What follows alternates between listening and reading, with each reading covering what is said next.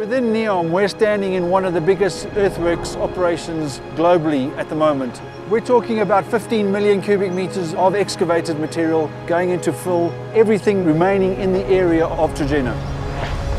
Cement production accounts to about 8% of CO2 emissions. So this is the main focus for us, how to try to decarbonize our construction. My name is Peter Nichols. I'm the Senior Construction Manager for Trojena, involved with sustainable concrete in the lake. My name is Asim Ibrahim, the Senior Project Manager at Trojena, looking after environment and sustainability.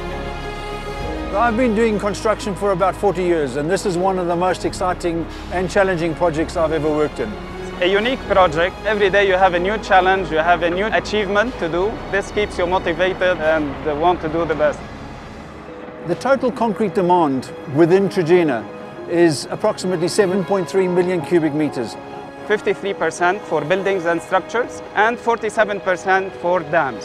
In alignment with the Kingdom Vision 2030, we have adopted the Sustainability Concrete Initiative. That is focusing on using 100% of our aggregates from local sources. The material that are produced locally by our construction will be used in the production of concrete. So the vault is up to my left-hand side at the top of the hill.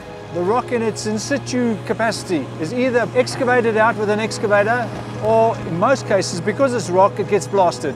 It gets loaded up there and they go into the area behind me. That's the primary crushing area. Once it's crushed, it will be brought into the lake to the secondary crusher, which will be over to my right-hand side here. That will then be crushed into smaller particles, ideally made for concrete which will then go to the washing plant. It gets washed to remove all the dust. It then goes to the batching plant where you get your cement and your fly ash added and your water. Once that is concrete is batched, it then goes down to the wall, which is about two kilometers away. So this is the dam wall. This is what holds back 55 billion liters of water in the lake.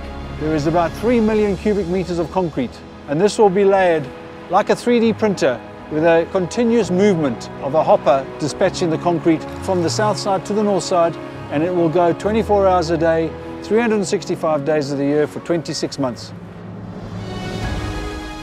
From an estimation of the emissions that will be generated and the transport that will be reduced, we estimate 0.4 million tons of CO2 that will be saved. And in simpler terms, that represents about saving 1 million trees.